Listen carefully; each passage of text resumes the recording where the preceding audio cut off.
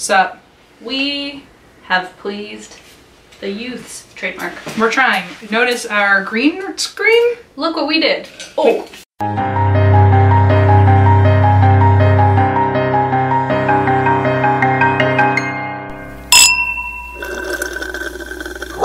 Look what we did. it wasn't meant to be perfect, ever. Once. Not even once. to be fair, that's usually my microphone, and Christine's now realizing the struggles I've had to go through. it was mine, and then you suddenly got it, and we're like, what's going on with my fucking microphone? And so I took it back to make you feel better. Anyway. Is this fun? Yet? You wanna try again? All right, technical difficulties aside, welcome. We um we have pleased the youths. They have informed us that things are good, that they liked what what we gave them. Some so of, far, A for effort. some of them were very happy that we called them youths because they were in their 30s and said they prefer YouTube. So Youth tube. I actually was gonna say that. What? episode. Really? Yeah, I was like, I'm gonna say that next episode, and then I was like, it's so terrible that I'm coming up with a bad pun in, I'll handle it. in advance. So I'm glad you just did it on a riff, like naturally. Yeah, well, that's what I'm here for. Also, uh, I want to give a shout out to the person who made these the the shirt for me. It's apparently one of a set. Well, here's what happened. Um, we knew we were setting up a green screen today, which, by the way, here's our green screen. Welcome. Um, and both of us wore green. Yeah. It's pretty standard. Wait, listen, we're starting from the bottom. Still here. we're still stuck at the bottom. We. Uh, So I was like, I'm sure I have one of your shirts somewhere, and I have a collection of stuff. When I tra- we travel, I bring a suitcase for all our like gifts and stuff, and so they end up in a big bat in a big, big suitcase. suitcase of mine. And so I found. And this was from our most recent trip. yes. So uh, a lot of people. Well, it wasn't. Where's it from? Atlanta. Oh well, yeah, yeah. Sorry, not Salt Lake, but like before that. One of our most recent trips. And so I have uh, one that says Eva. Write that down. mine's the only one in tie dye. That's nice. And uh, Uh, no, it's not. yeah, huh? Yours is in tie dye. Yeah, Oh. they're all in tie dye. All the other ones were in solid color, in different colors. okay, maybe I'm misremembering. Listen, I remember when I see a good tie dye. I'll check later. But anyway, so I found this in my. I was trying to steal it, but I brought it out for Em. So we'll see. Hopefully that uh, we are not part of the green screen. Hopefully not. But who can say? Uh, this really is just like the beginning when we started the podcast and did not know what we were doing. And after a couple episodes, it started to become something really good. So be patient. this is round two of us on camera. Um, one day it's gonna look really bitchin', just not yet. Yeah. Um, So far, so good. We're really faking it with this green screen. it looks cool to me. It took us an hour and a half to set it up. Well, we were gonna nail it to the wall, and then we came up with a better idea to actually follow the instructions that came with it. Christina has a habit of nailing things to walls. Em thinks that I do, but really it's always Em's idea to do that. No, it's not. Listen, there, right here, there's a curtain that uh, Uh, Christine do not up. say I, I nailed it to the wall. I didn't. She nails the rod to the wall, Okay, and then I- she hangs the curtain on the rod. Incorrect. I hang. Listen, you guys are gonna love this tip. You, it is a good tip. Someone told me once. You put big instead of like a command hook or whatever. You just put like a really thick nail, and then you can rest the curtain rod on top of the nail, and that way you don't have to screw in a bunch of screws, mess up the wall. It's just a one little nail. To be fair, it works. I'm like I'm shitting on you, but you're right. At the same time, it works. But I just assumed since you're so willing and open-minded to do it with other things, why not do it with the green Listen, screen? I've built every piece of furniture in this room, so you can leave me alone until you want to come here and build all my furniture. Then we can speak. Uh, firm pass. Okay. Welcome to And That's Why I Drink, a paranormal and true crime podcast. Do you have any updates? Me? Um, my only update was that we've pleased the youths and I am pleased that they are pleased. All right, Um, I got nothing. oh, so I wanted to mention we had an awesome time at our last show of the year, Yeah, Salt Lake. Uh, we did a double show, a double header, which was wow, wow, a lot. we're not used to that. No. Um, we did it once in Houston. Did we do it in Dallas too, or that was two no, different? just only one time ever before this. and both times were a lot. Um, but we commend the people who came to the second show and stuck it out with us until like midnight. Oh my god. It was a wild ride. I had a blast. We had fun. Yeah, but it was definitely a long night. So to everybody who came to both or either one or to the late show, thank you. Um, we had a really good time and you guys brought so many presents and we were not expecting it. Oh. I, I mean, I was because I brought an empty suitcase. I wasn't expecting that many gifts. Everyone was very generous. Everyone was so nice. Uh, speaking of gifts, one specific person that sticks out in my mind brought uh, a gift from the grocery store they work at. Uh, basically, this person said, "I work at a grocery store, and we are we're doing inventory. We were cleaning out our back stock, and I this happened." Is, this is Noah, by the way. Noah said this. Noah then said, "I found a petrified avocado to go with lemon," and then handed it to us. Oh, And now we have two dried up mummified foods that our manager can be equally disappointed about. that I'm friends with and very close to. So now instead of just lemon, we've got lemon and avocado. Now I have a suitcase full of souvenirs and a petrified avocado. And I've got two reasons to hate Christine. Only two? Wow. Lucky two me. in the grocery department. That's about it. Thank you, Noah, for my petrified um, avocado. Lemon really needed a new cousin, so.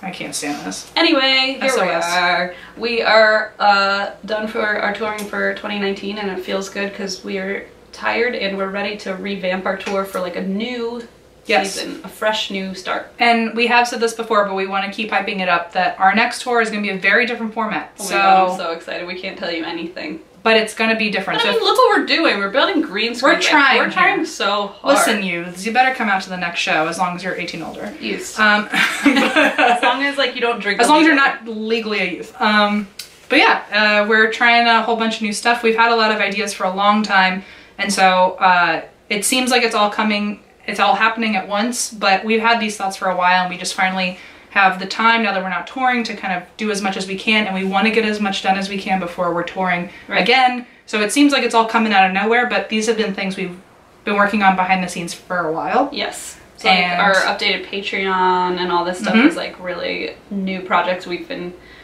throwing around ideas for a long time, but finally they're actually happening. Yes. Very exciting stuff. And uh, we will say about the tour again, one of our favorite things about next tour is that we are going to be releasing all the dates at one time. Oh yeah. So, So- no stress. We said it before, but I just want to keep reiterating it because someone's finding out for the first Also, time right I know Em said no youths, but most of our shows are all ages, so Oh, they are? That's Em nice. just likes to upset the youths, I guess. I'm on your side because I'm cool and fun and hip. I like to confuse people. Yep. I know. I'm used to the comedy club scene. Sorry, guys. Sorry.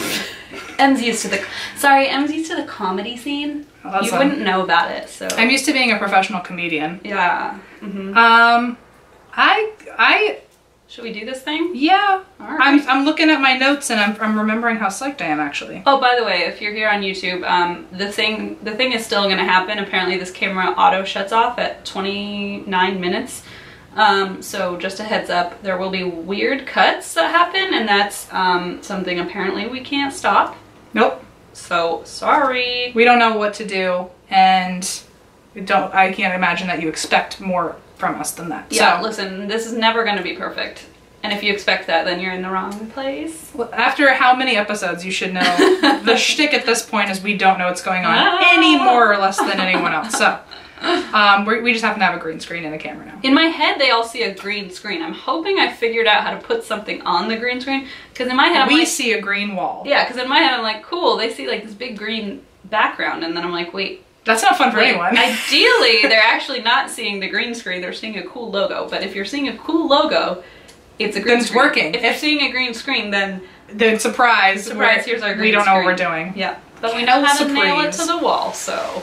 uh all right so my story this i almost said this year oh my goodness Bye, we're done. actually this is the last show of 2019 Oh my god, our manager was with us in Salt Lake and I said something like, It's our last show and he was like, It is not your last show. Yeah. Like, no, no, of the we year. of this tour. He's like, You gave me a heart attack. I was like, No, no, no. Yeah, I, And then I was like, What do you think Em and I would do with our time? Like we literally have nothing else to do. we just uh, decided to give up on the show and but also get a green screen. We just want to talk at you always. That's literally all we care about doing. Since we like talking at you, listen up now. This story is a UFO story, Okay. and it is supposedly uh, like the most popular UFO story in all of Europe. Wow. Thank you for caring. Oh, well, uh, Geo came up on that. Oh. Well, how is this so much worse than the first one? I don't know. It's whatever. It's fine. Okay. Okay, so it is supposedly the um, most haunted, or no, not the most haunted, stupid, the most famous UFO story of all of Europe. So Fascinating. it is, I think. Um, what country won won this prize? uh, the I was gonna try to make a funny joke, but it wasn't gonna be funny. Um, Sounds hilarious. that was Italy. Italy is the answer. I was gonna say like the home of pizza or something stupid. Okay, that was funny. I can't stand you. So anyway, here- Likewise. Here is the story of the abduction of Pier Fortunato Zanfretta. What the fuck?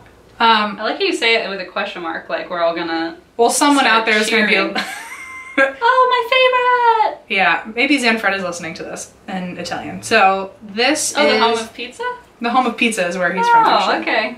Um, his, so I just call him Zanfretta for the entire uh, story. I'm not going to call him the, the full name, just his last name. Got it. I also called him Z pretty often. Oh, so Z, if that's that cute. if that accidentally slips up, I apologize. I like it. Um, all right, so I'm just going straight into his abduction. There's Let's do it. he apparently has been either abducted or had encounters with the supernatural up to 11 times in a matter of three years.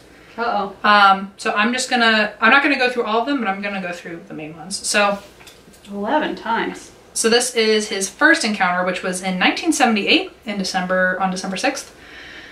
Zanfretta is a 26 year old security guard, and he's working in a village near well, Genoa. Were you already? You go- you never Google these things. No, no, Genoa. Yes. Cool. I just wanted to keep calling it Genovia, and I knew that was wrong. I thought maybe that's where you're going, or Geneva, but then I realized we're not in Switzerland, right? We're still in Italy. Yeah, we're still in Italy. Okay, you're correct. then. But I just keep seeing Genovia in my head. Princess of Genovia. Zanfretta, Prince of, Of Genovia. Okay, so oh God, the dream. the 26 year old Prince Zanfretta is also a security guard, and he's working in a village near Genoa. And Or uh, Genoa? Gene Away? it might be Genoa. Sorry, It might be Genoa, actually, like a hard G. it's not. Uh, so while he's working in the village, it's cold and snowy, so let's remember that. Okay. Um, he's driving by a, a country house that no one's currently living in. It's an empty country house. Um, and his car stops dead. Everything, his engine, the radio, uh, his car is just kaput. Womp womp. Uh, so when he gets out, he also looks into the house that's currently not being lived in, and he sees four lights in the house. Wait, And- like who's out? Just like in the, in the abandoned, he's like he's a security guard, so he's just driving by and Oh. passing by homes, Okay. uh, surveilling the the area. The maybe? neighborhood. Yeah. Okay. Uh, Of Genovia. of Genovia. He's not the prince He, of Genovia. he He's cares, actually his, cares a the lot. security guard of about his Genovia.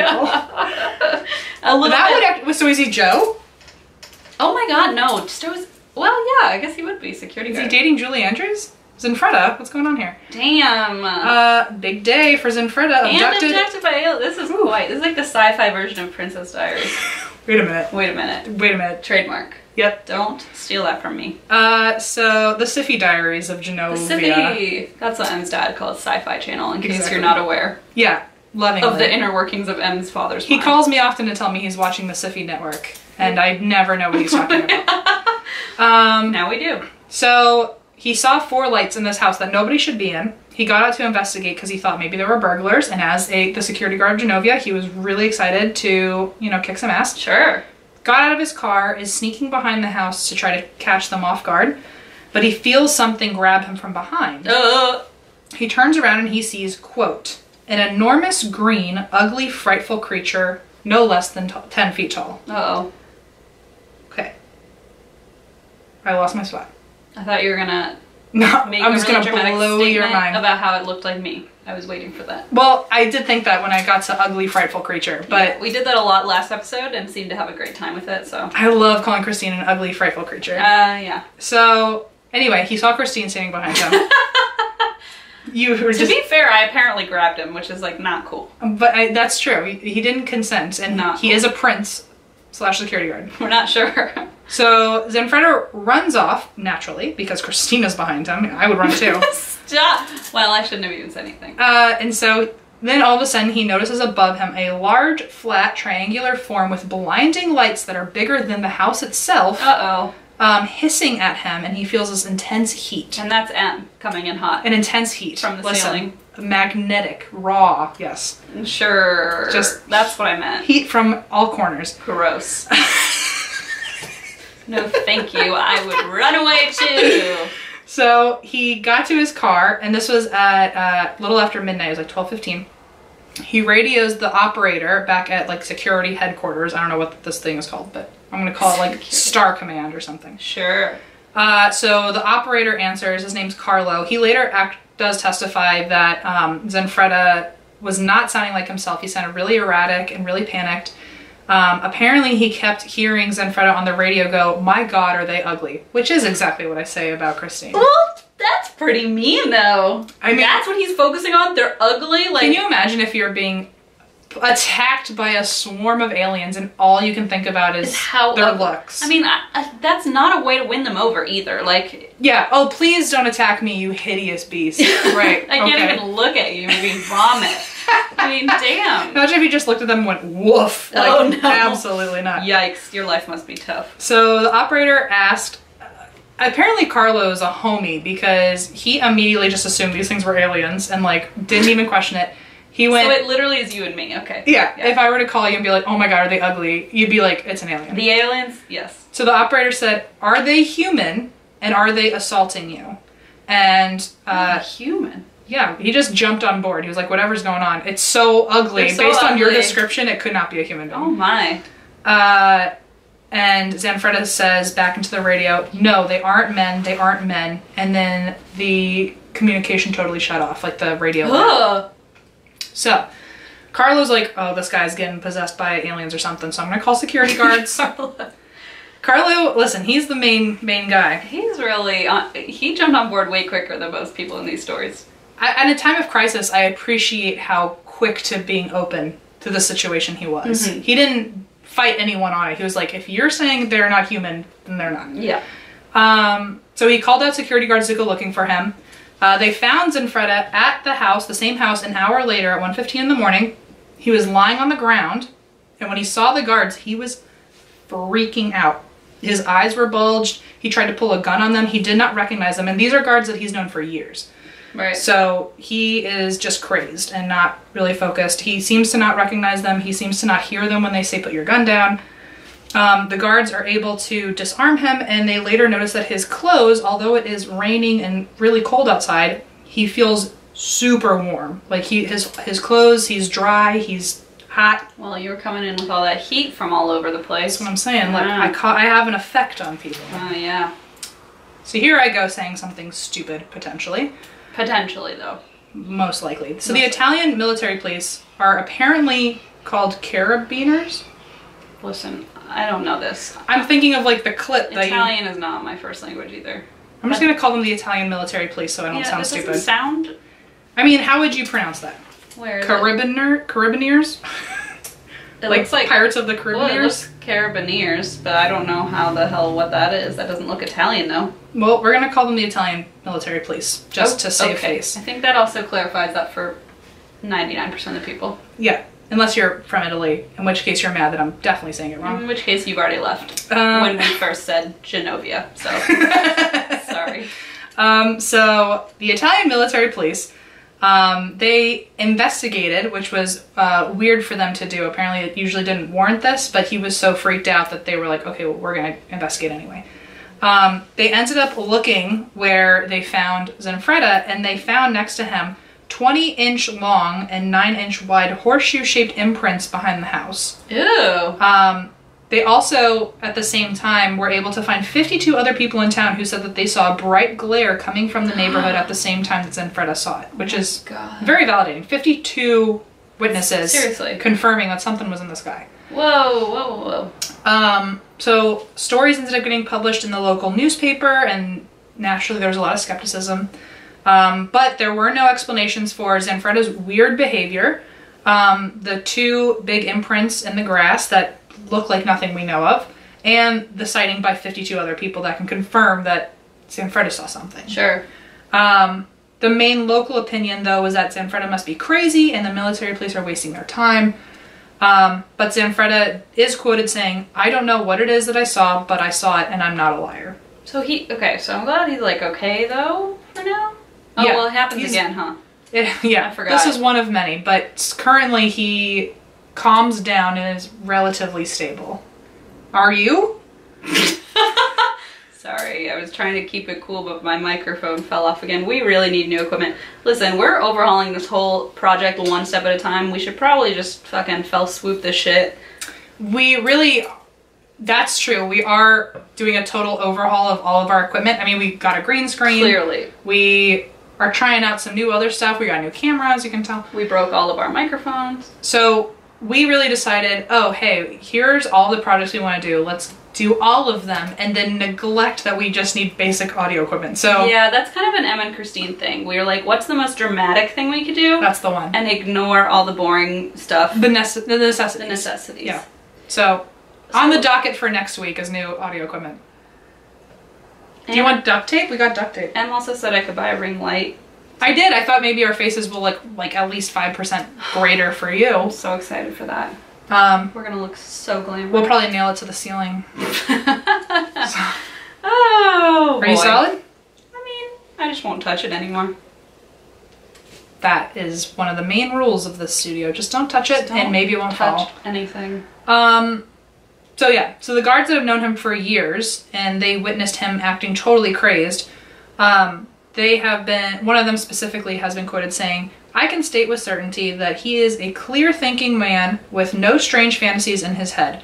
Uh, when we went to investigate the scene the next day, he almost didn't want to come. He was so scared. Oh. Only something exceptional could have frightened him so badly. Wow, so he's really like not So his homies are like, "This guy is usually so level-headed." right.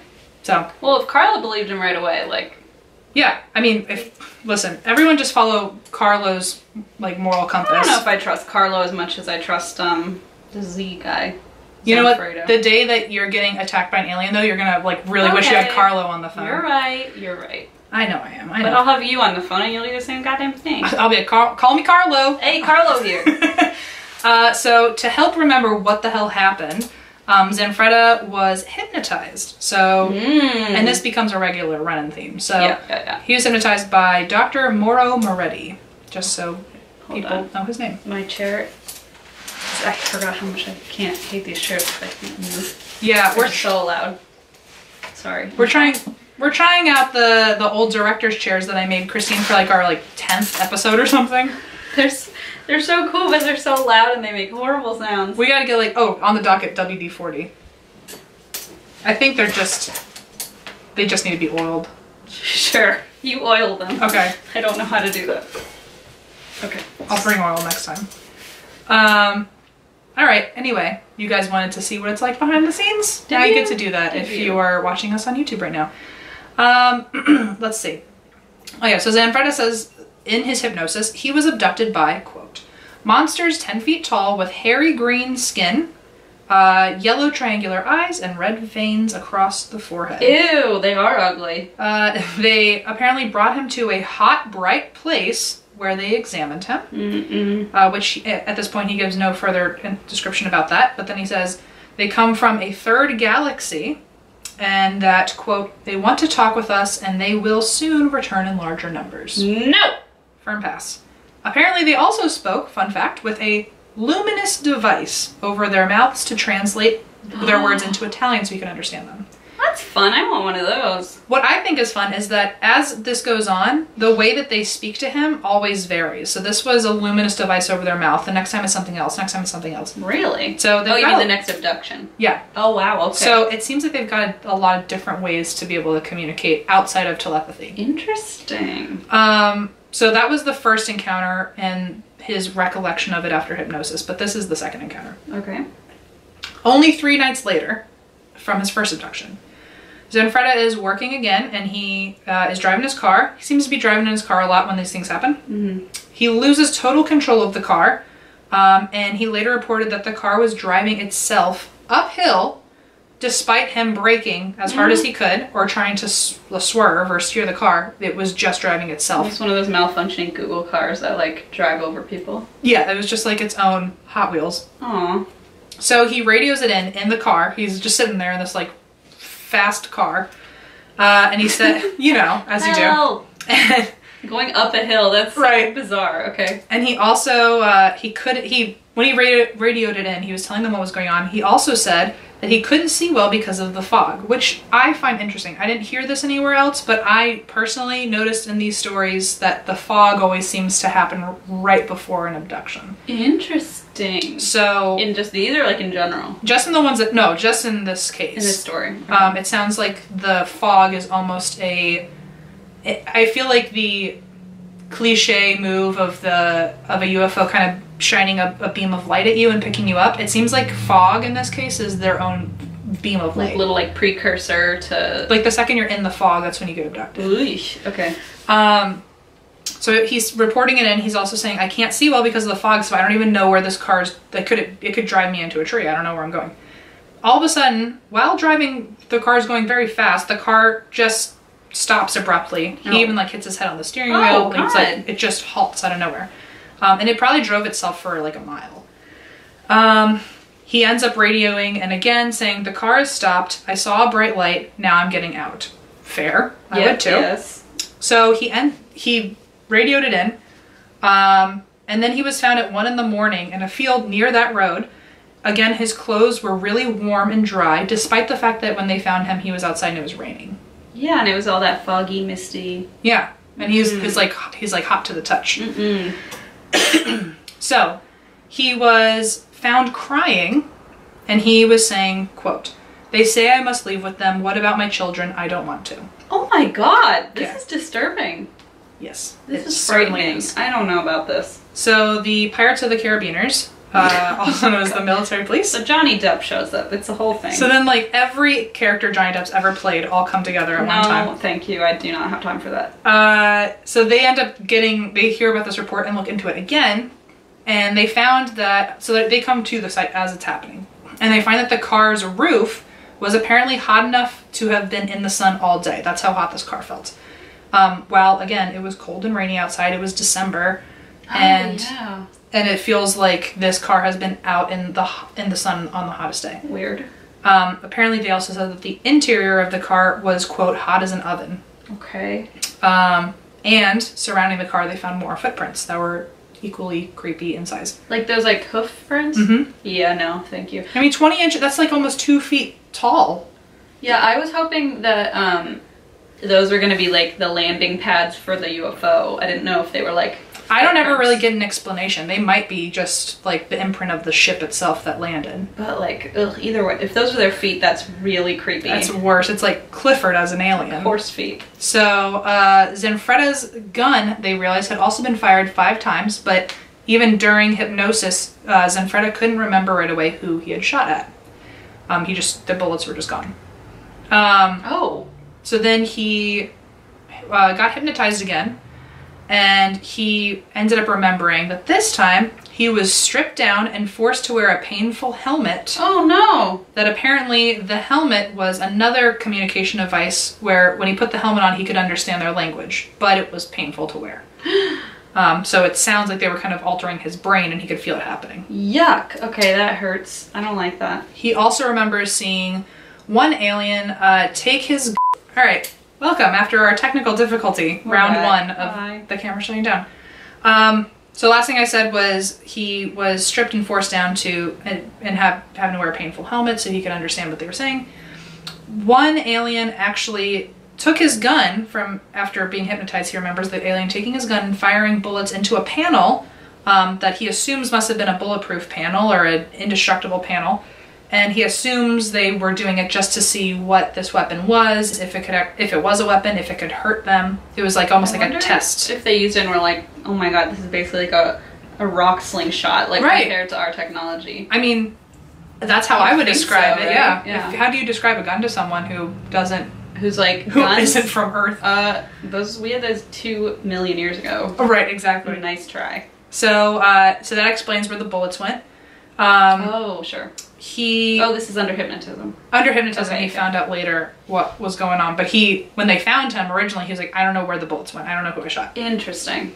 Um, in hypnotize, while hypnotized, he also realized that uh, they were requiring him to leave his home and family behind and stay with them. And he apparently said, they, when he when I say he said this in response, it's assumed he said it in response because these are the things he's saying in the psychiatrist's room in his session. So these are the things that he mumbled, and we assume he said Right. that he's remembering. Okay.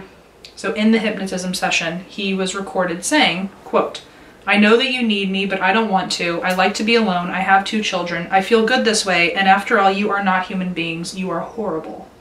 Hey, well, again, that is not gonna get your way. He's a fighter, not He's- a lover, He- apparently. ah, he's got to be like, listen, I love it here. I'd be like, your eyes are so beautiful In uh, fact- and triangle, triangular. triangular.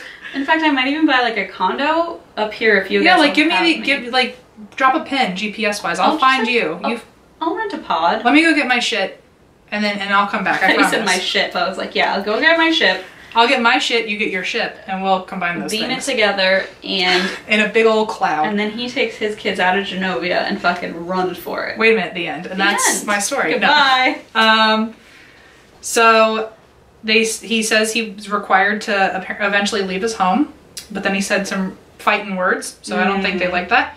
All this information ends up getting compiled into the report on the sighting of UFOs by Fortunato Zanfretta in 1979, and this uh, report actually got sent through like magistrates' offices and things just to see like if there was anything they could do or like Wow. raise they took it awareness. seriously, huh? Yeah, Wow. and uh, the military police even at one point defended him and said that the believability level of this report was good. Like they, Wow. even they're unsure of what's going on. okay. Um, also in 1978, the year that these happened, there were so many UFO sightings all over Italy that at one point the Minister of Defense actually had to speak to the Italian Congress about it and like give his opinion on what was going on. Oh my god. So he was not alone in having these UFO sightings. This just happened to he had the most condensed experiences. Wow. Um, but he definitely wasn't alone in reporting sightings that Well, year. especially if he's getting hypnotized and getting so much detail out of it. Right. Yeah. Right. Um, and he is known. Uh, I don't know about in all of UFO ufo, ufology. I don't know where he stands when it comes to in the entire world, but at least in Italy um, and maybe Europe, he is the person that gave the most documented most documented accounts of his experience. So he has the most elaborate report that people take seriously because Oh. he's the one that has given the most information. All right. Um, so Zanfretta's second encounter, which I already mentioned, uh, brought even more critical publicity. A lot of people still thought it was a sham and he was just trying to get attention. Um, so he was, like I said, hypnotized for the second time, but that hypnotism actually he broadcasted live on TV Oh. because he wanted to prove to everyone that like he, he was legitimately discovering things for the first time and people should listen to what maybe the doctor has to say in the room so that they're not being so critical of him. Did he make money off it? No, he never made any. He never profited from any of his experiences. That's good to know. I always wonder. Um, so I think he was also really scared, and the fact that people were judging him or not believing him, he was like, "Fuck! Like I don't know what's going on either. I'm just Like gonna." they want to take my fam me away from my family, dude. I Yeah. don't, I don't like it. So uh, he broadcasted his hypnotism. Uh, the doctor ended up saying after his hypnotism, quote, the man is in a state of shock, but he's perfectly sane. So it actually ended up helping give him more credibility to the public, which was exactly why he did it. He wanted to be trusted. Um, but then he also started getting invited to like TV shows and like a famous personality back then. His name was Enzo Tortora. And he had a show named Portobello, and he invited Zanfretta on his show. Um, there were articles about him. So made up. I know. Portobello and And uh, there were articles. Tortellini. pizzeria, Mamma Mia. Mamma Mia. That should be. Wait a minute. That should be a Broadway show. Wait a minute. Wait a minute. Uh, there were also articles uh, about him regularly in newspapers and magazines all over the world, and he was known as the man abducted by UFO. okay. So he is getting kind of international notoriety at this point, but he was happy at the time of like I'm glad that at least everyone saw what was happening, and it's been confirmed by pro- by professionals. I'm not faking this. Yeah, yeah, yeah. So he had a third encounter um, in 1979. So a few months have actually passed. Of course, Keeps he, happening. he probably thought he was safe at this point. Yeah. Um, this time he's again driving, this time on a motorcycle in an area called Quarto. Does that mean four? I don't know why I'm Wait, asking. spell it. Quarto. Oh. oh, quarto. Yes. Cool. I think quarter probably. Does it mean quarter? I think so. Well, I mean like a fourth. Yeah. I don't know what it means. I'm gonna guess. It doesn't matter. It's an area. The, the quarter. Sure. Okay. That's where he was on a motorcycle. Sure. He disappeared. Shocker at this point. Oh god. and the guards found him two years late, two, two hours later. Sorry. I was like, I can't even with this guy anymore. Like, I give up. He's a Uh, lost cause in my book. yeah. After year one, it's I, I give They're up. still looking bad. Uh, he disappeared and guards found him two hours later on top of a mountain. Huh? Um, Mount Fasce. Fasce. How the hell? What the hell? I'm sure it wasn't like a like a crazy mountain. I think it was just like a really tall hill. But it's called Mount Fasce.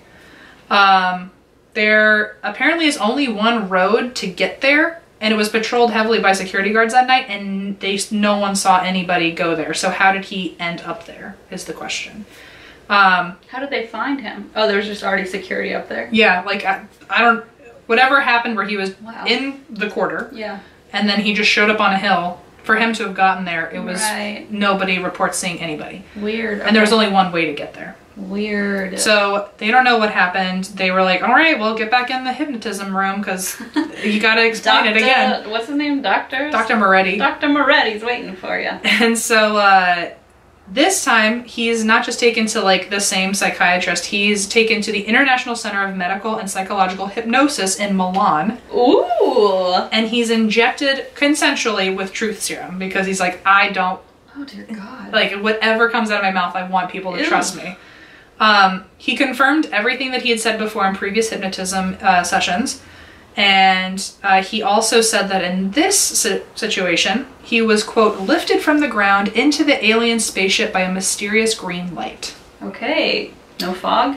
no fog uh, that i can see in this one They're really like changing the game of every time. they really keep him on his toes. I wonder why this is. every time he's driving though they're like ooh that guy he's, he Yeah, wants to apparently He's switch vehicles. It doesn't matter. yeah exactly Even on a moped. uh, yeah, he's just birding away just on a lime uh, a doctor uh, at the facility, get that I think the one that actually administered the true serum, he was also quoted saying, "No human being can knowingly lie while under the pentothal treatment." Mm, So I think it's very probable, in his opinion, that Zanfretta had these encounters.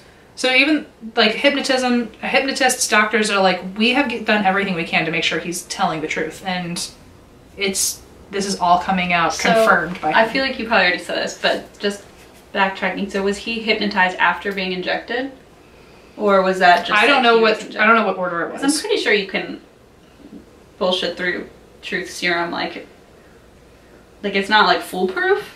But I don't know. maybe if you're hypnotized on truth serum, it probably is a lot harder to bullshit. I don't know right? what order it was. I would think so. Yeah. Like I feel like it would at least lower your ability to to, to I don't know. like you make you less mm-hmm. manipulative. Yeah, right? I don't know. Make That's you a more good amenable question. to like the effects of the truth serum. yeah, yeah, yeah. But I, hear don't know. I mean, I'm clearly. But what am I? Just Like, a professor of science. What am I? Just a PhD candidate? Listen. False. I am not. Remember that time I was a PhD candidate and then I was like, mm, I'm gonna drop out and meet Christine Schiefer and start a podcast. Oh, come on. Listen, good choices were made that day. I tell you what. choices. All right, so let's talk about the fourth encounter. So this was also in 1979. This was in December against. This was the last one was in July. This one's in December. So they're starting to spread out a little more. And this one was at 10:30 at night, and Zanfretta disappears while driving. Uh huh. While looking for him, because at this point they're like, this guy's gone for five minutes. He must have gotten abducted. So guards are just on top of it, like, oh, he's missing. Let's Like go looking looking. under all the tables and He, like. they, he- they must have given him a radio to bring home. so while looking for him, four guards actually do see something that looks like a UFO in the sky, oh no. And two bright lights come down directly on them while they're driving around, and all of their car engines die. Oh. So all at the same time, multiple cars die. Mm. Two lights come down directly on them when they see what they think is a UFO. One guard actually shot at the UFO, and Oh, the great. lights turned off, and the thing in the sky flew away. Okay. Well, it worked. I didn't think that would work. I didn't think it would work either, but I guess they like had their hand on a gun at one point and figured out what bullets are, and they were like, "Oh, let's not mess around with that." So they got out of there. Oh man. Okay. Apparently, this is sad, but a lot of they it's. I'm just gonna say it anyway. Um, two of those guards that were also part of that experience. One was so shocked that he could never fully recover about the experience. Oh my god. Another one couldn't recover to the point where he ended up committing suicide later because he was so rattled by the Woof. situation. Or so the story goes. I don't know what else was going on in his oh personal life. no. Oh my god. Um, but so that makes this the one of the only alien abduction cases where there was a victim after the fact because they it wasn't even the person who was abducted. no just someone who apparently experienced a UFO Really and they tragic. they have I don't know if this is I don't know if they should have or not, but in all the stories they have put that suicide into the framework of the story, so they have made it seem like he was a victim, a, a murder victim or a, a, a death victim. like it wasn't by his own. right? They've they've played it up so that the UFO situation could have been one of the reasons he couldn't. Questionable. Yeah. But sure. I that's I'm I'm apprehensive to All right. definitively say oh because he saw a Let's UFO. just say we're not making that claim by any means. No, he happened to commit This suicide right after something really, really wild happened. May or may not have played into that. Yeah. Um, that being said, Zanfretta gets hypnotized again because he just knows his place at this point when he gets abducted. He goes missing, they find him, and he's like, I'm gonna go get hypnotized. Mm. So, what he says is an hour before he was found, he was at a gas station. Um, he heard someone calling his name from the shadows. Very ghosty, but Uh. No. Apparently, he couldn't resist it. It was like a siren lulling him. No. So, he walked towards the voice, and he heard the voice order him to drive into a small cloud floating above the ground, which could also be fog. Sure. Okay. Um, but apparently, there was a small dark cloud. He said, drive into it. So we did. He drove into the cloud, and his car levitated inside the cloud. And the next thing he knew, he was on a spaceship with a humanoid figure. Oh, it sounds like the Jetsons. God, it sounds very cartoonish now. It does. Like a- into a cloud. It sounds like uh, Harry Potter 2 when his car's Yeah. flying away. Harry Potter 2. The Chamber of Secrets. Before people yell at me. Harry Potter Junior. Oh, But but, but make it sci-fi. but make it siffy. Mamma mia. Make it Magical siffy. So, uh, the humanoid was apparently tall with a bald egg shaped head. Oh my. Um, he was dressed in a checkered suit with a shirt underneath that was made of steel. Whoa. It's like a steel tank top and like a checkered That's blazer. kind of fun. That's funky. I feel like that could be New York Fashion Week. If I went to a club wearing that, I'm not saying I wouldn't get attention in the right ways. Mm. So, uh, sure, Em. Zanfretta actually saw. Maybe like a Sam's Club. I would get attention regardless if I'm wearing a a steel shirt. Yeah, I know. Uh, so Zanfretta saw on this spaceship while walking around with the checkered humanoid. Mm. He saw transparent cylinders filled with strange blue liquid. Oh. Ooh, ah. Ah. Um, thank you. Um, listen, I'm practicing. so one of the cylinders that had strange blue, li- blue liquid also had a frog-shaped body in it that the aliens called, quote, an enemy of ours from another planet. What? So apparently there's frogs on another planet that are much more evil than Evil the frogs, frogs. we have. Or they're good frogs and they're enemies of these guys because they're the good guys. Oh, frogs. maybe we actually saw And these are the bad a guys. friend. A frog friend. No, Friend. Mm, We'll, We'll a, figure it a, out. A pal pole. A tadpole. Never mind. We'll work on it. We'll shop it, we'll shop we'll it. shop it. a totally great friend. Oh, shit. Okay, sure. Uh, so, which also is interesting to me that the theory is that there's animals just like ours, but with totally different personas on another planet. Who have like vendettas? Right. It's kind of like Guardians of the Galaxy and like Rocket the Yes, raccoon. exactly. But he's like, I'm not a raccoon. It's like, okay, but you are. But, maybe like- that maybe that frog was saying he wasn't a frog. Not a frog. No, he's just totally a He's great a friend. tadpole. Toad pal. So- oh my god. Are you still with us? Did you leave? I thought you were talking to me. I was like, no, I've left. I've left the building. checked out. So, uh, and two more of those blue liquid cylinders were a preserved big bird. So apparently, there's also birds and a caveman-like human body. Oh my god. So that makes me wonder if there's cavemen in another world, or have they time traveled and like gotten a prehistoric human, are now here, and now they're gonna go get a future person. Or they've just been around for that long that they were around when we were cavemen. The possibilities are endless, I tell ya. So during hypnosis uh, of telling this story, Uh, Zanfretta apparently says out loud in his in the session, "Where have you been, and what do you want to do in Spain? Why? But altogether, that will scare people." As if he's talking to the aliens, telling him some elaborate plan in Spain. Oh my god.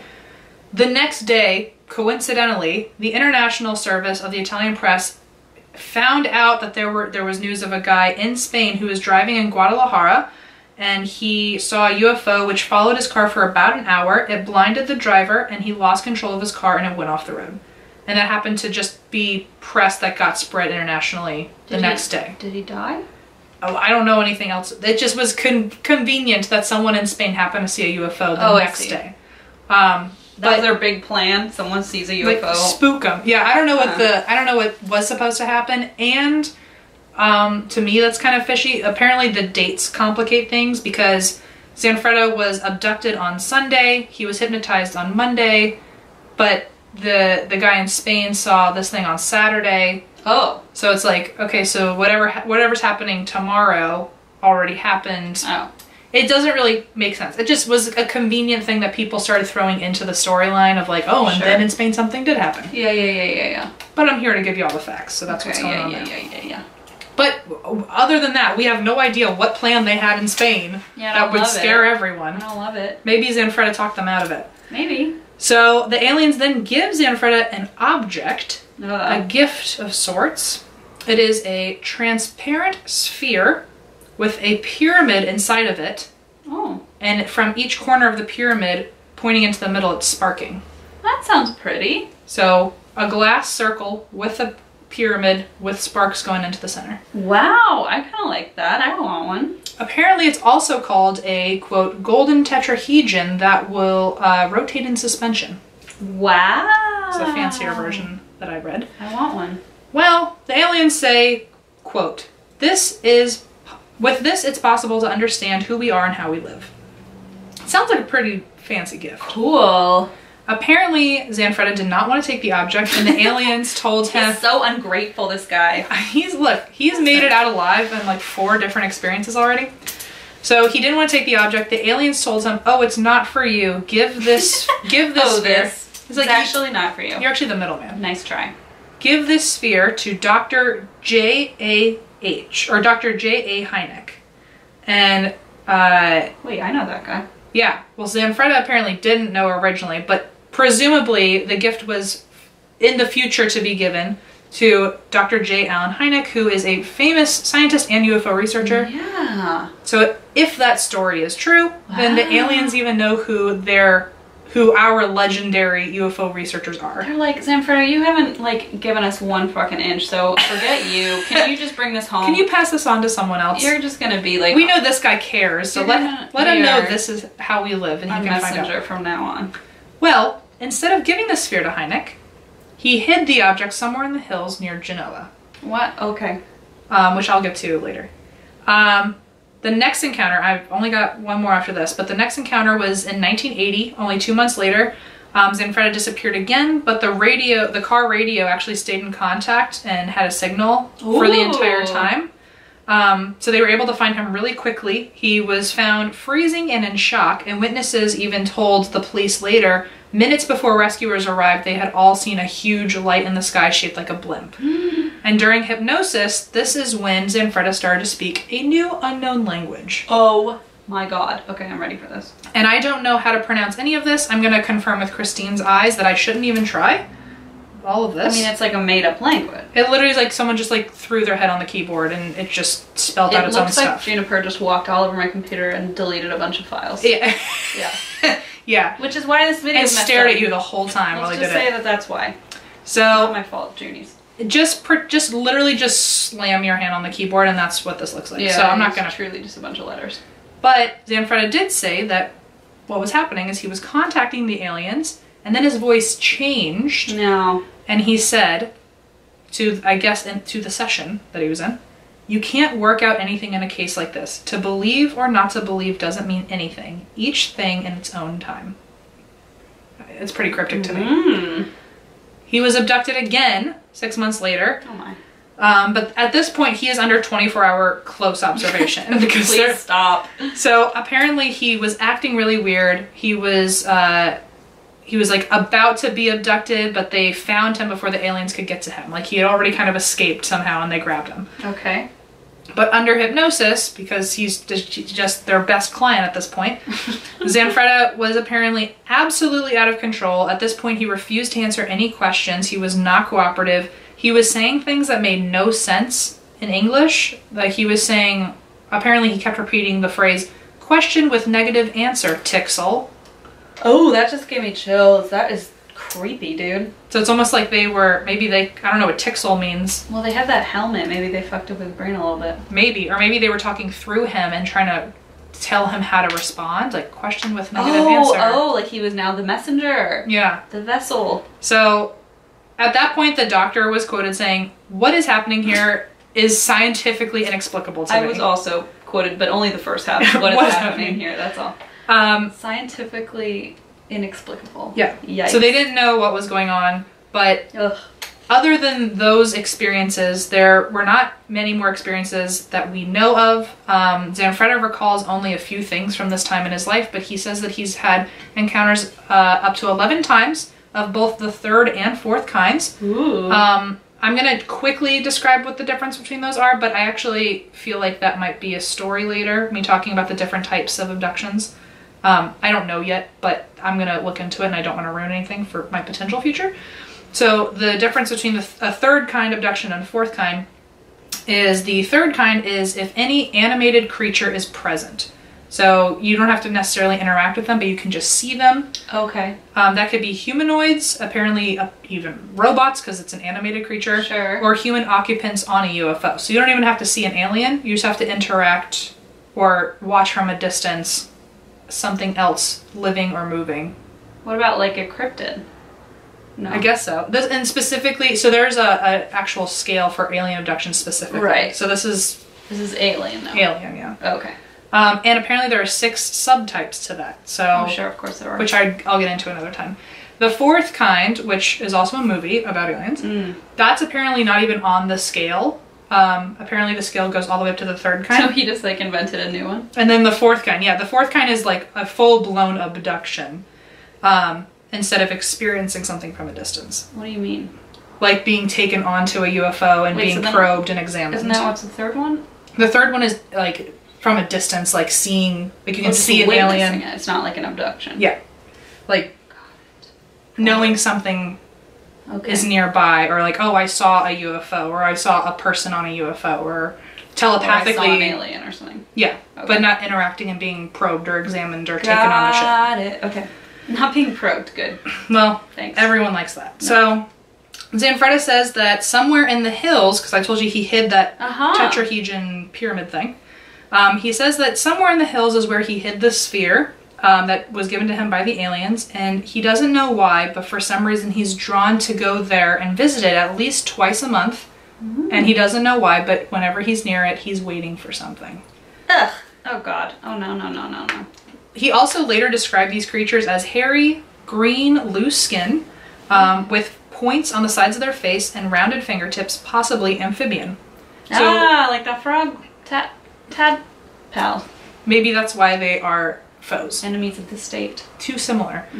So based on this description, um, they could be a few things, which I know none, nothing about any of these, but the list that I have found um, over my research was it could be reptoids, I'd never heard of, Okay. Voronezh, Ver- Voronezh aliens, which apparently have Sure. been seen uh, in the former Soviet Union in 1989. Ooh. Uh, they could be Loveland frogmen, which oh yeah, that's Ohio.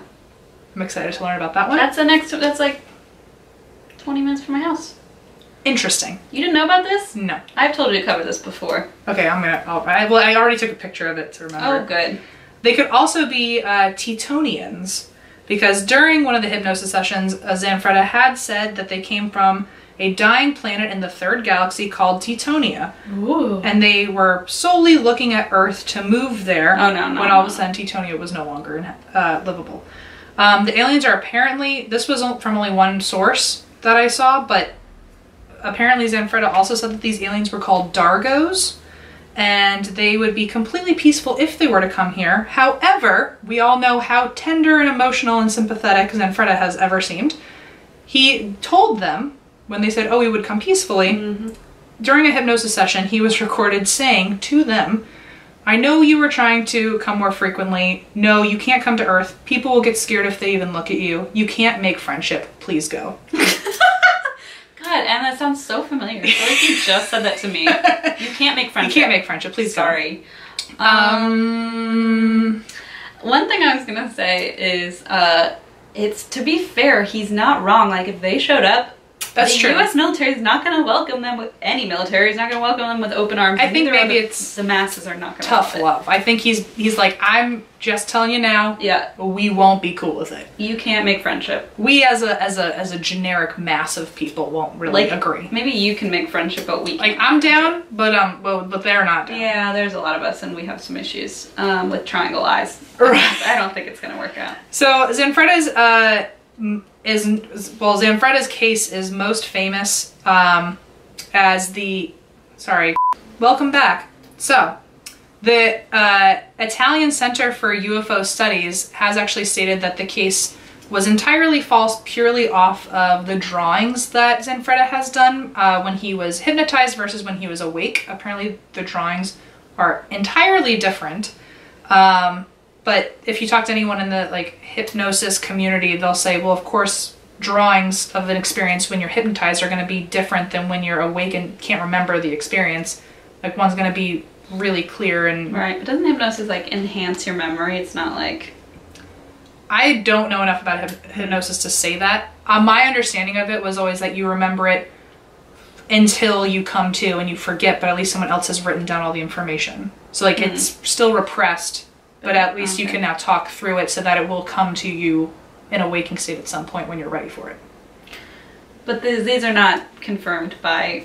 I'm totally Us. guessing. I'm totally. That was my understanding of what it was. I feel like I had a different understanding, but I also don't know. My therapist does a lot of hypnotherapy, so maybe I'll ask her. You you have the connection. Maybe I'll do some drawings and tell you what happens. I've literally never met a hypnotist ever. If I did, I would demand they hypnotize me. Well, there's also the issue of like recovered mem- like false memories and stuff, which So, Oh. many think hypnosis is uh, generally unreliable um, because doctors could feed the patient false memories. Um, and most journalists are also critical of Zenfred's experiences, except for a reporter named Rino Di Stefano. Rino Di Stefano. Uh, Stefano. I don't know. I would say Di Stefano, but I don't know. I would say Di Stefano. Rino Di Stefano. Di Stefano. That sounds Italian. Sure. I don't know. Rino, are you there? Uh, so Rino's wrote a book uh, called The Zanfretta Case, which was published in 1984, and as of only a couple years ago, it's now also uh, in English. Um, and also, an Italian broadcasting network has made a, a docudrama about Zanfretta in his case. Ooh, that's so fun. he's still kind of getting some notoriety, but he's basically known as like the big alien abduction story in Italy. Um, before I end, I do want to say that there is a link that we can put in the description for you guys.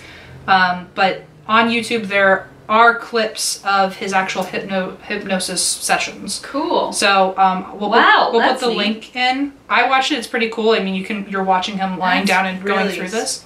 Um, so if you want to watch it, we will provide that for you. Yeah, I'll add that to the thing. Um, I also wanted to specify that my therapist does not do like regression therapy. She does or hypnotherapy. She does like phobia hypnotherapy. To be clear, like I'm not saying she does like uh, you know fringe stuff. I'm saying she does like for phobias. both of my parents have been hypnotized. Um, my mom got hypnotized to stop drinking Diet Coke okay. um, and to start drinking more water, and it really It's supposed to be extremely effective. it messed with her. To Uh-oh. no, no, I mean like she's fine, but she uh, she now has an issue where like I guess whatever the hypnotist said.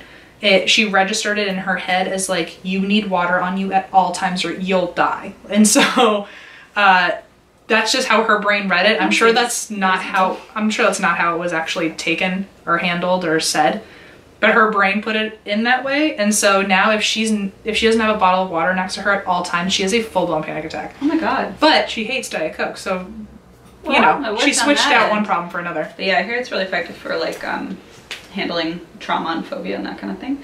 But who's to say? I haven't done it yet. I've been planning. We've been planning on it for my needle phobia, but we'll see. I'm Oh, too scared. interesting. yeah, I'll let you know if I ever end up doing that because I'm gonna encourage you on that because I want to ask questions. Well, that's like an IV every eight weeks. It's about time I fucking get Fair. get over it. But we'll see. anyway, that is the story of uh, Zanfretta. Wowza, that's pretty crazy. I Um, think so. I also want to also add that I'm pretty sure it's Genoa. I feel like just to, like so people don't. It's Genoa. Okay, no one make fun of Christine, only make fun of me.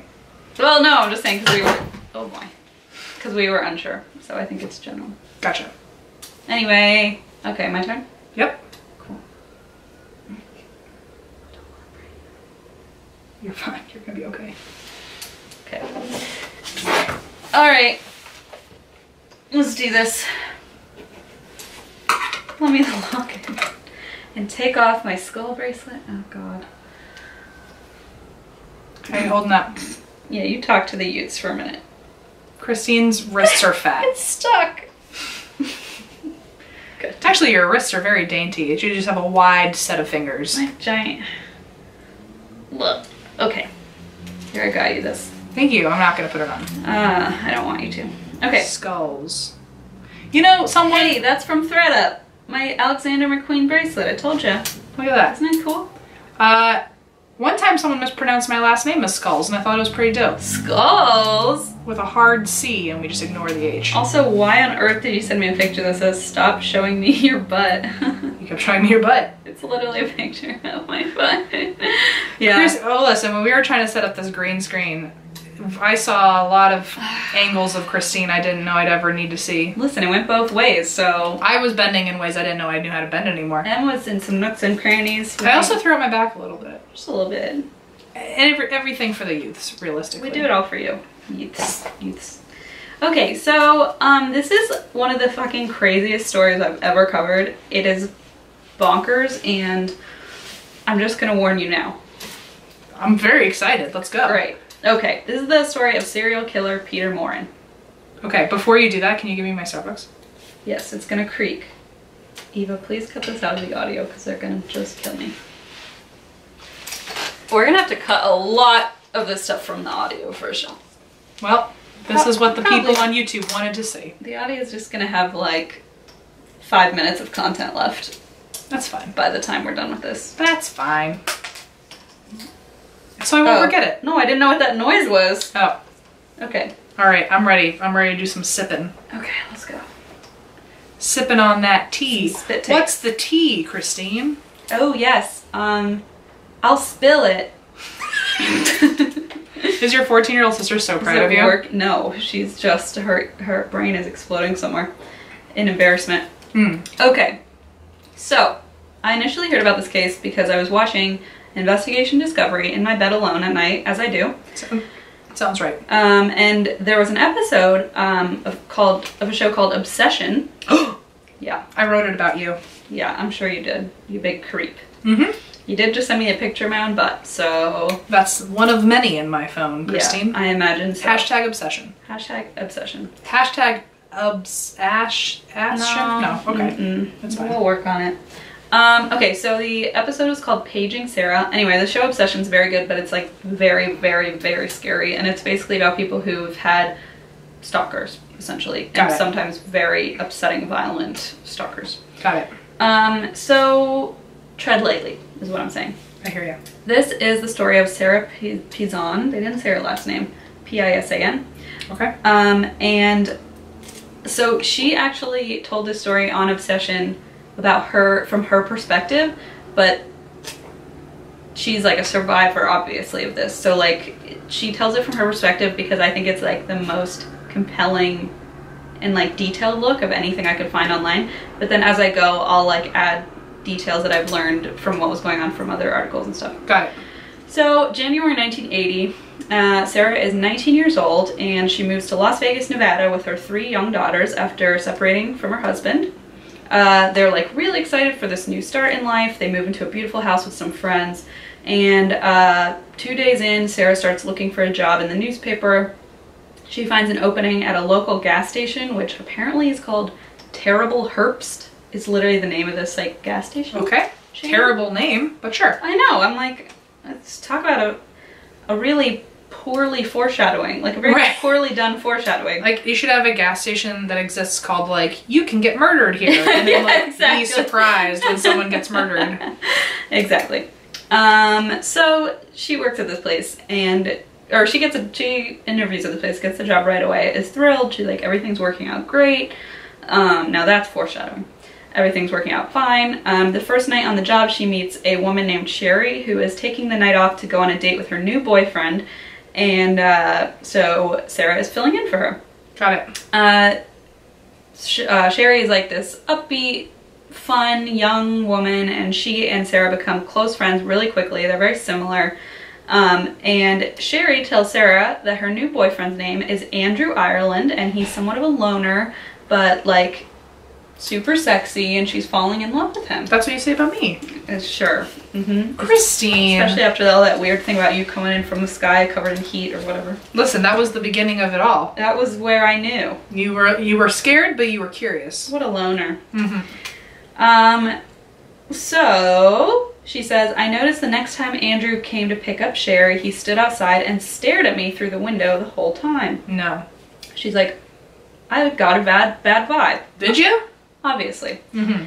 So she said he made her feel like a piece of meat the way she was staring, he was staring at her, and she's like, it was just the most unsettling. Like, he's there to pick up Sherry, but like just through the gas station window, she sees this guy like watching her, and it's just very obviously very upsetting. Then a couple days later, Sherry comes to work totally upset. She's crying. She's like, she doesn't want to talk to anybody. They're like, what's wrong? What's wrong? Finally, she spins around and screams, he's married, okay? And turns out Andrew Ireland, her boyfriend, is actually married. And so she's devastated. You know, she thought this was going to go places. Um, and then the next day, uh, Sherry just didn't show up for work.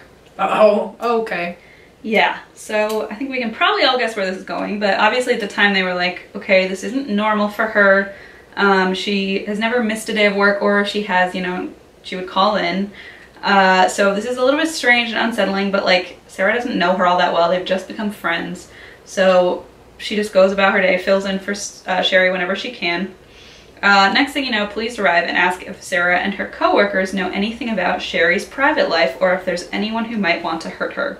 And at this point, they're like, okay, well, something's definitely wrong. Right. Yeah. Um, obviously, uh, Sarah's like, okay, I know about this guy she was dating named Andrew Ireland, and the last time we saw her, she was like devastated that he had told her he was married, so maybe he has something to do with it. But she, all she knows is his name's Andrew Ireland, Got and, it. and he has dark hair and glasses. That's like all she knew um, from seeing seeing him out the window. Right. So obviously that doesn't give police much information to go on. And the next day, police find Sherry's Jeep abandoned in a parking lot of the shopping center with her purse inside of it. That's awful. Yes. Meanwhile, Sarah is promoted to manager because Sherry's just hasn't showed up for work in so long. So Sarah ended up just replacing her as manager. And with Sarah's new job comes a pager that her supervisor would contact her on. It would beep and then the message would come through live, like as it was being spoken. So it wouldn't like record it or anything. Oh. Okay. It would like it would like beep beep and then the message would come through. Got it. So she was to have it on her if the supervisor needed to contact her or have her run into the station to I don't know. Fix something. I don't know. But she had it on her and she was supposed to have it on her at all times. So one morning, um, Sarah notices a car pull, pull into the gas station parking lot.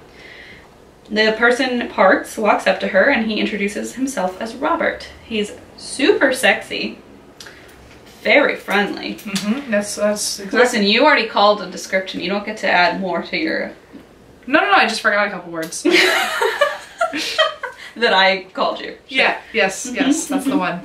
Um, so he's like this super attractive, very friendly and charming guy.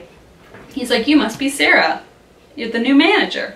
And she's like, huh, um, that's a little weird, but also like, he must be just a local and it's a really small town. Like he must just be a regular and she just hadn't met him yet. Okay. So she's like a little taken aback, but just assumed, you know, he had just heard her name around. So he, Is that Gio? it's Junie. Oh. Oh. Hi, kitty, We kitty. get another visitor. We'll see if he shows up. This is the kind of stuff we need to delete off of audio. Come here, Junie. Oh. Junie's like, I don't know what's happening Come here. with this. Come here, little stinky kitty. Come here. Junie's been very wary uh, because of the new dog in the fa- family. Yeah, he doesn't love that. What, petting him? Yeah. Oh, okay. well, That's a first. well, he's He's just skittish right now. thinks you're gonna pick him up. Come here. I think he's just Well, he's he's just chilling now. he's exploring the green screen situation. I see. Yeah, I feel like every time somebody enters this room, it's completely different than it was. If you're on Patreon, we took a little video of what it looked like while we were setting this up, and it was a freaking disaster. It still is. It just you can't see it. It's on the other side of the camera. Exactly. it just looks awful. Come here, June. Um, okay. Da da da. Okay. We can put the audio back in now. Got it. Okay, so right, he assumes or she assumes he's just a regular. She hadn't met yet. Um, he asks her out almost immediately, and although she's flattered because this guy's like super sexy, uh, she tells him she has a lot going on. She has three kids. She has a gas station to manage, and she's new to town. Um, and so he's like, "Okay, you know what? I'll give you time to settle in, and we'll talk about it again another time." Which, like, she said no, guy, but All right. Well. Okay. okay. I'm just gonna stop. Um, so he says, as he turns around, right? He says, I can wait though. Well, don't. Don't forget me, okay? Ew. And then walks away. She's like, hmm. And she starts looking forward to his visits because, like, he's just very charming and flattering and, like, really good looking. And, None of it felt safe to me though. well, obviously not in this context. Foreshadowing. Um, not even foreshadowing. We're literally talking about it in the context of a murder show on a TV show called Obsession. Fair. But sure, very romantic. Um, so one day, about four months after Sherry's disappearance, Sarah is taking a shower at her apartment when she hears her pager go off. So she grabs a towel, jumps out to listen to the message because it comes in live and she needs to hear it. And a voice, a man's voice, comes over the pager and says, "You look good in a towel." That's disgusting. Absolutely not. Obviously, she uh, she closes the blinds. She makes the kids blah blah. She makes sure the kids are safe, but she's like, oh my god, maybe this is just some like one time peeping tom thing. I don't like. I don't know. She just kind of tries to put in the back of her mind, um, especially because there's literally no way to find out where the message came from. Um, so obviously things don't stop there, as we know from how these stories always go. Um, in fact, it goes on for months that she gets these messages, and they start escalating, of course. In a lot of the calls, he would start telling her the things he would do to her while she could hear him masturbating. Firm pass. He would say things like, First, I'm gonna tie you up, then I'm No. gonna cut you up. No. Oh. No. Yeah, yeah. Um, of course, she has three young girls at home, so every time she hears this beeping, she has to like run and turn like turn the volume down to make sure it's not because either it's Right. her supervisor or this creep calling. Um, but on the other hand, she's like just got this job, she just got promoted, and she's like, I don't even know what I would have said to my supervisor, um, and I don't think I would have been taken seriously. So she just is like, I'm gonna try and um, just monitor it and make sure my kids don't hear. Yeesh. But at a certain point, she starts getting calls every couple hours. And then she starts to hear screams. While the caller was leaving messages, a woman could be heard screaming in the background. Oh no. Yeah, it's really disturbing, guys. Um, by the way, I was gonna say this in the beginning, but like this is one of those stories where like you're gonna wanna like at the end you're probably gonna go check your locks and double check your locks and your windows and screen doors because Oh my god. after I watched this episode, I was like, mm, I'm locking up the whole house and That's terrifying. never letting Blaze inside again. Right. So, uh, meanwhile, obviously she's wondering like who the hell could possibly be doing this to me? Like I'm new in town. And then she realizes that her pager number is displayed behind the gas station counter in a way where it could be seen from the outside. So literally anyone, Anyone. walking down the street could have seen it, which obviously doesn't narrow it down whatsoever in this town. Just makes it so much worse. Yeah. So there's like no narrowing it down. Um, and meanwhile, this handsome guy Robert keeps coming to the station almost every morning, continually asking her out. Which, by the way, guys or people in general is not a sexy way to flatter someone. If someone says no, no means no. No means no. No is a full sentence, as my stepmother would always say. Mm -hmm. And uh, And they don't have to give you a reason either. If they're not interested, walk the fuck away and move on. and guess what? If they do change their mind, maybe they'll let you know. But perseverance is not always what what you think it is. No, it's it not. as- becomes stalking very quickly. It's not as charming as you maybe think it is. Um, yeah. So, right. So finally, she literally just agrees. She's like, you know what? Fine. This guy's handsome, whatever. He's being pushy. I'm just going to agree to this date. No. Um, so she tells him to give her a call sometime and maybe they can grab a pizza or a beer. And he's like thrilled. He's like, great, okay, I'll do that. 15 minutes later, Sarah's coworker says, hey, you have a phone call. It's Robert. He says, hey, it's some time. Oh my god. This guy. Yikes. I would have immediately regretted that. she's like, and so he, she's like, yeah, I guess so. And he's like, let's go out tomorrow. And she's like, okay, great. Pick me up uh, at my house. Gives him the address and says, okay. And before they hang up, so he's ready. She's ready to hang up. Okay, I was like, why are you kissing? No, he was stretching. And then he licked his lips. They're not gonna even believe us. How do we show them? I don't know. I can't I listen, I don't know. We're stuck. Just know that there's a juniper wandering through our legs, and I'm sorry you can't see him. Just wandering, just the the light touch of a tail. Oh, oh. that just happened. he's not gonna let me grab him. Hi. What's up? What's Where's he? going on? He's right underneath you. He's just sitting. With his handsome little brooding kitten chest. Hi, Baloo. Come here. This is so nice. There he is. Oh. Oh, there goes my laptop. Hi, Baloo. Oh, he's mad at me. I'm sorry. Okay, well, this is Juniper, everybody. Here's an angry cat. He's never coming back. He's like, fuck this green Yeah, room. he knows. Okay. Um, alright. Green Anyway, screen. I'm so sorry. It's okay. Moving on. Sorry, it was my fault. I saw a cat and just lost my mind. Well, I was about to go saying say something terrible, and then I heard kissing noises, and I was like, maybe I'll wait. Good. Yeah, I hope you all enjoyed that because what's next is not great. Yeah, nothing else is going to be positive. Okay, so she gets this call, and he's like, well, now is sometime. Um, and she, like, let's go out tomorrow. And she's like, okay, all right, you can pick me up, and we'll go grab some pizza. Before they hang up, he tells her, I've been looking forward to this date for a very long time. No, don't She hangs up the phone, and she's like, something is wrong. No, yeah. She's Yes. like, that tone in his voice was off. Like And I- possessive or c- something. She just said there's like this tone that's just like she said basically what she said was um let me find it. His tone immediately put me on edge. Something told me don't excuse me. Something told me don't go, don't go. Listen, listen to it. Chills. So the night of their date, the next day, instead of going home by seven to be picked up by Robert, Sarah decides to just stay at the gas station and continue her shift and work late.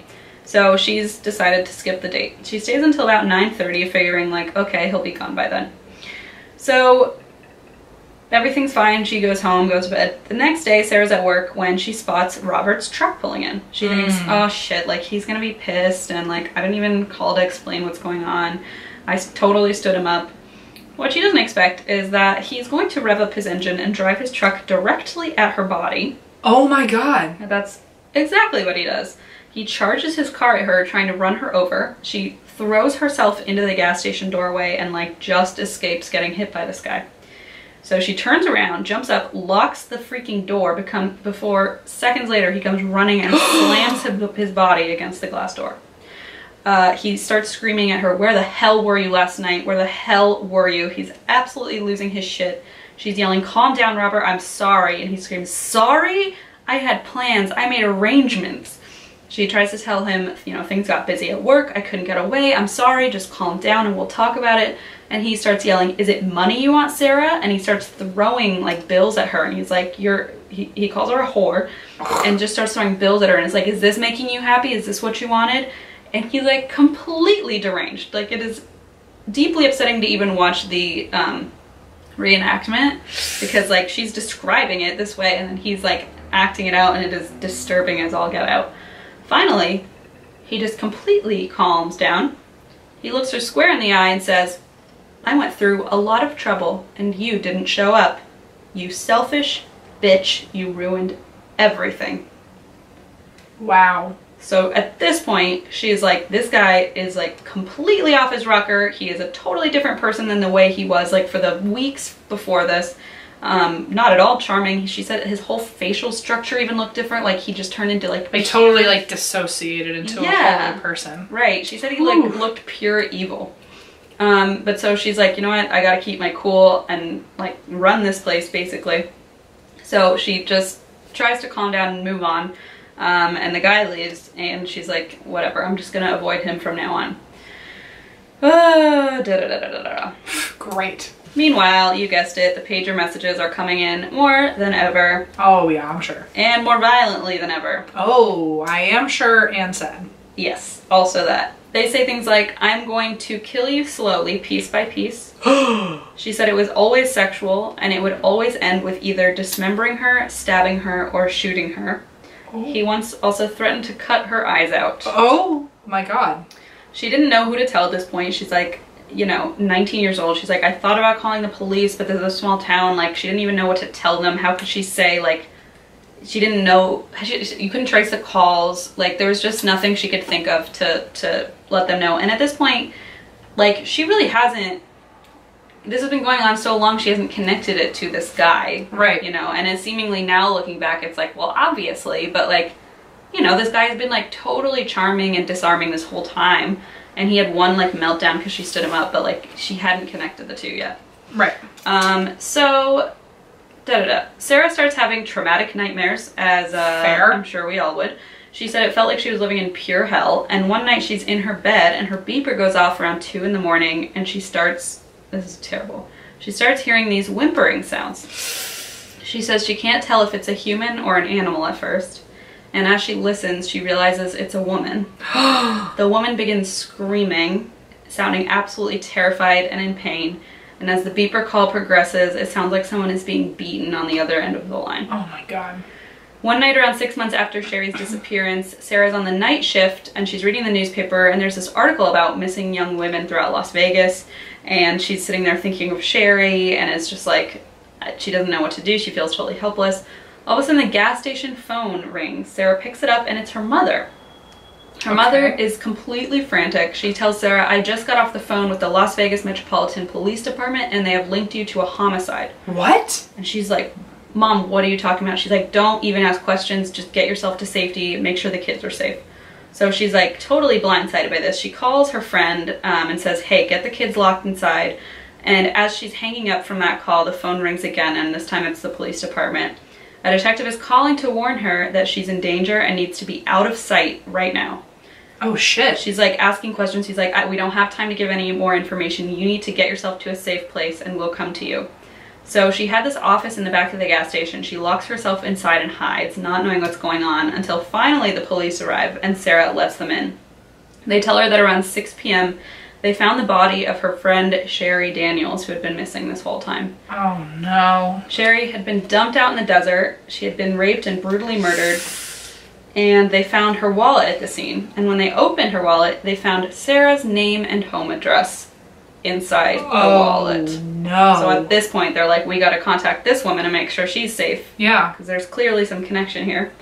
So of course, this is already traumatic because she just found out one of her closest, her only like good friend in town has just been brutally murdered, obviously. Yeah. Um, but now suddenly she's tied to the case and is in danger. So they put Sarah into the squad car. They're like, lie down out of sight, and they drive her to the police station. At the station, they basically pass over to her this big album of mugshots. They're like, okay, take your time, go through these photos, and um, tell us if anything rings a bell. So she's looking through all these photos. She's like, hmm. And they say, do you know this man? And she's like, confused. She's like, which one? And they're like, no, that's all the same man in this mugshot What? album. So like just like Master of Disguise. Yes. Oh my gosh. Isn't that fucking crazy? So he looks like completely different men and like di- she said different races. Like he would like change his hair and his facial hair, darken his skin. Like he could change. Like he looked Hispanic in one photo, and then he looked like a pale white guy in another. Like just totally was able to manipulate the way he looked. Oh my god. So she's looking through these photos. She's like, I still don't totally know what's going on. Then she turns a page and sees Robert, and she's like, Holy shit, that's him. That's Robert, the guy who freaked out at me at the gas station. And she, they're like, This is all him. All of these mugshots are that guy. Sorry, I can hear my phone. Oh no, you're fine. It's my mother. she knows. She knows. All I can see her picture. I literally see. Oh yeah, yeah. Her picture uh, for her contact ID in my phone is Lucille Bluth drinking a margarita while like her eyes like kind of like not there, like kind of just like rolling away. And so all I saw was Lucille Bluth judging me. Eyes just came from underneath Em's laptop. Um, so she's turning the pages. She's like, "That's Robert. Holy shit!" And they're like, "Keep looking." And she's like, "Well, I already know. Like, this is the same guy." And so she keeps looking through the pages. And as she turns another pages, she realizes she, she recognizes another man. Oh no. It's Andrew Ireland, Sherry's boyfriend. And she's like, what? realizing that's the same fucking guy that's been showing up at the gas station. Whoa. Ugh. You're right, Christine. This is blowing my mind. Fucking bananas, dude. Okay, so police tell Sarah, nope, this isn't Robert Generoso, nor is it Andrew Ireland. His name is actually Stephen Peter Morin, and he has been murdering people since 1969. Oh my god. Wow. And on top of that, he was one of the most brutal and sadistic serial killers police had ever encountered. Uh, God. They told Sarah he had beaten and raped Sherry several times, and suddenly Sarah realized that she had heard it happening over her pager. That's terrifying. Her quote at this point in the show was, I think he was killing my friend while he was beeping me. And she's just like crying. I mean, this is like Oh decades later, but it's just still. So I'm, I'm sure the sounds are still fresh in her head. Can you imagine that beeping must just be like the most traumatic sound? I mean, I can't. If you ever are near a pager again, like, you're just God. game over. terrible. Um, anyway, yikes. So they tell her all this, what he's done to her friend Sherry, and then he, they say eventually he just shot her in the head and dumped her body. Oh my god. So they show her pictures of all the women he had murdered, and as she looked at them, she realized she was looking at all the same attacks, like violent things that he had been threatening her with over the pager. So dismemberment, shooting. He had even cut someone's eyes out, like he had threatened to Oh my god. So these weren't even empty threats, like these are things he was actually carrying out. They knew of at least 44 women and 7 men that he had murdered. 44 Oh my god. and 7. Uh, police hadn't been able to track him in all that time, most likely due to master of disguise status. Um, he was just ability, he just had this ability to hide under different aliases. And what he'd been doing apparently is taking names off of tombstones who were about the same age as him and then like calling in for their birth certificate and creating like false identities at these people. Wow. Uh, police tell Sarah she's in extreme danger and she starts to feel completely hopeless. Like, well, if they haven't caught him in all this time, how the hell are they going to catch him now? Um, they tell her, you need to get out of town. Like, is there anyone you can stay with? We don't have the resources in this town to, like, keep an eye on you at all times and you're not safe here. So the next day, Sarah drops her kids off at the babysitter's and says, I'm just going to run to the apartment to grab a couple things before getting the girls and heading out of town to my mom's place in Texas. Um, oh no, sorry, in Arizona. So she heads to her apartment with her friend Sally, and uh, she's like, "I'm." Af- uh, she was afraid. Obviously, she wanted someone there with her to like, just bolster her, Right. because she was so scared. So Sure. walking toward the apartment, and suddenly Sally squeezes Sarah's hand and mouths the words, "Get in the car." they run back to the car and just fucking peel out of there as quickly as possible. Once they get away, Sally looks at Sarah and says, He was in there. I heard him. He was behind the door. As they were like walking up to the freaking apartment. Oh my god. So police search the house, and lo and behold, there is a chair behind the door that was not there, that Sarah had not put there, that had been placed there strategically so he could sit and wait. Um, of course, police are like, okay, it's safe to go in now and look around, and she's like, I'd rather not. It's like I never want to go in that No. building again. Thank Uh-uh. you. So they accompany her in. They she sees this chair behind the door that she had not put there. Uh, based on the evidence, he had been sitting in that chair waiting for her to walk through the door and had planned on shooting her. she, bless you, Gio. She looked at her end tables where her where she kept her address book, and he had been rifling through her address book. Oh no, so everyone yes, is potentially very unsafe. and the battery's about to die. Great. Oops. Round four of technical difficulties. Okay, yeah, we're not even recording on audio yet, but I did want to add, um, whoops, the daisies. So sorry about that. The camera battery died. Oops, we'll work on it. Um, Can they hear us if we're talking loud enough? Yeah. Okay, cool. Oh, oh, you mean like connecting the audio? Yeah. Well, maybe. If not, I'll just delete it. Okay. If you can hear this, The battery died, so we've been sitting here for a while waiting for it to charge. charge. Meanwhile, we ordered food, Yep, as we do whenever we have a dull moment. exactly. Okay, my bad, everyone. Battery died. We're back. Okay, Woohoo! so what was I saying? Something very frightening, I think. Yeah, well let's, do you remember the note you left? Not even a little bit. Hmm. Start with his name is Steven something. He was killing the girl, Sherry. Oh, She- I thought you meant like from the beginning. I was like, mm, we don't have time for that. Uh, she was hiding in a closet. She found. Oh, she looked through the book, found out he's a master of disguise, found out Oh, that he was probably murdering her, her friend On the pager. on the pager. Then we were like, can you imagine even having Oh, a pager? they went back to the house with Sally, and Oh, yes. the chair was behind the door. Sorry, this is. I remember this because I started panicking because I saw the battery flashing, and I was like, oh. Gotcha. Okay, so let's just start there. So let's start there. So they went back to the house, and um, the chair, her chair was behind the door, meaning he had moved it to behind the door. She looked at her nightstand, and her address book had been rifled through, meaning now he not only knew Everyone where that she sh- lived, but literally anywhere. Yes. Like anyone in her family, anywhere she would possibly go. Anything from like doctors to bank to her mom's house, her grandma's house, like A- anyone that he wants, Yeah. he you know has access to. Exactly. Um, so police tell Sarah that Stephen Morin, they believe, is so obsessed with her that he will not stop until he got her. So Sarah's like, great, that's super for me. And she takes her kids and heads to her mom's house in Arizona. So she feels a little bit safer, especially because police now set up like guard blocks on her street and she's at least with family Sure. in a different state but at the same time like she can't leave the house even to take out the trash like she's completely Cabin fevered. Yeah like she's Trapped. basically imprisoned in her house and her kids are too and she like doesn't know how to explain this to her kids it's just very very rough time so one day uh, she's at her mom's house it's around christmas time and the phone rings it's a familiar voice on the other end of the line Okay. he says i still know where you're at and i'm still gonna kill you Oh my god. so he had found her at her mom's house and found her landline, or had it in the address book, I guess, and um, had had found her.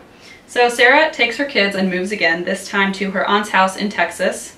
Um, and then in December 1981, when she's finally at this point, like, I don't even know how I can live like this anymore, Sarah gets a call from police. They say they have finally arrested Stephen Peter Morin after a four year FBI hunt. Wow. So that's how long it took, even once the FBI got on board. Oh my gosh. They caught him trying to board a Greyhound bus, trying to get out of San Antonio, Texas, where he was wanted in another murder.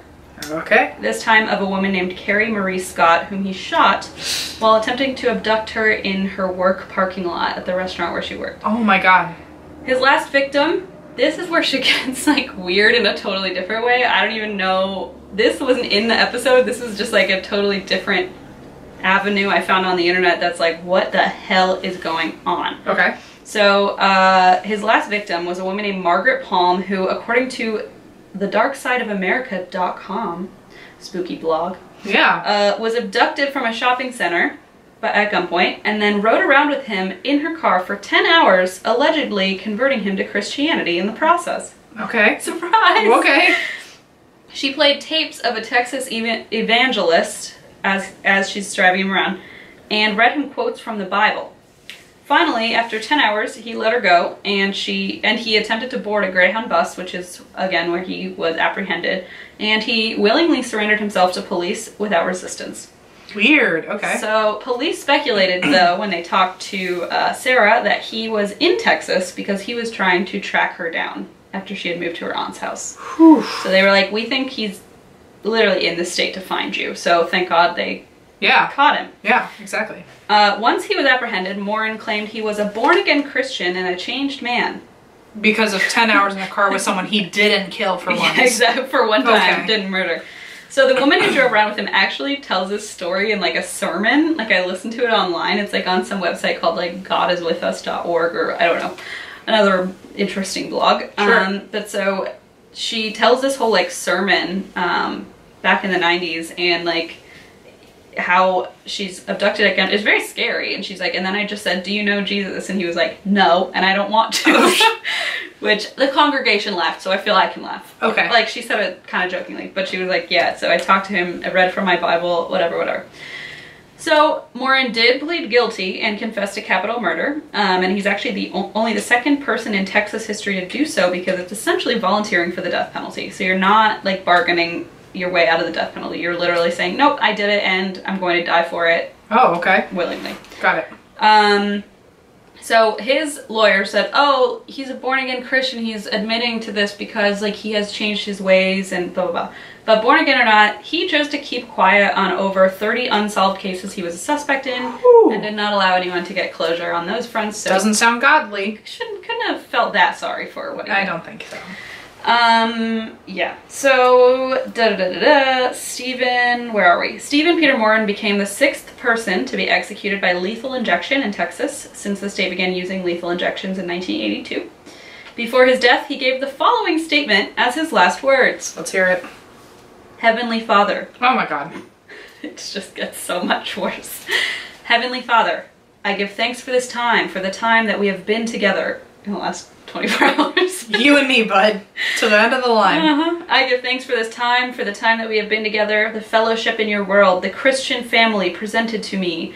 Uh, then he called the names of the witnesses out Okay. in this, like as the family presented to him. Oh. Allow your Holy Spirit to flow, as I know your love has been showered upon me. Forgive them, for they know not what they do. I'm like, Oh seriously? That line you're gonna use? Jesus' line? Oh my god. You're being crucified? Is that what you're saying?